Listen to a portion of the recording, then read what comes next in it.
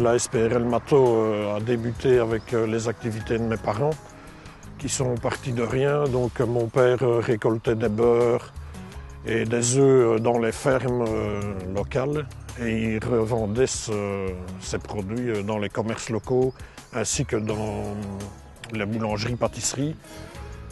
Mon père a continué de ramasser le beurre, il a ensuite emballé ce beurre dans ses propres papiers. Et finalement, le beurre de ferme a été remplacé par le beurre de laiterie. Donc maintenant, nous n'emballons plus que du beurre de laiterie. Nous avons deux activités, le conditionnement de beurre et la fabrication de fromage. Donc pour l'activité beurre, nous sommes, euh, il y a une quarantaine de personnes. Et pour l'activité fromage, il y a cinq personnes. Nous recevons du beurre euh, de plusieurs régions de Belgique, mais également euh, d'Europe. Et nous conditionnons ce beurre pour la grande distribution, pour la restauration hors foyer également.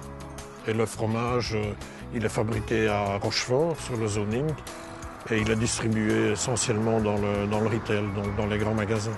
C'est uniquement du beurre traditionnel, doux ou salé. La seule différence, c'est l'origine et l'emballage et les formats. Donc nous avons plusieurs formats d'emballage. Euh, du beurre en rouleau, du beurre en plaquette, du beurre en coupelle de 10 grammes. Enfin, on a toute une gamme euh, de beurre.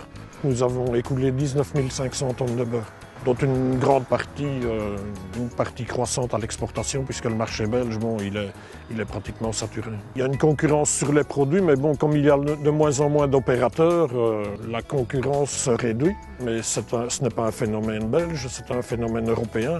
Il n'y a pratiquement plus de conditionneurs de beurre, ou très peu. Notre premier marché, ce sont les Pays-Bas. Le deuxième marché, c'est la France. Et viennent ensuite euh, la Tchéquie, l'Allemagne, le Royaume-Uni, l'Espagne, le Portugal. Disons, il faut s'entourer de gens euh, valables. Je pense que c'est la, que c'est la meilleure des choses. Et ensuite, bon, il faut, il faut travailler, il faut avoir des idées.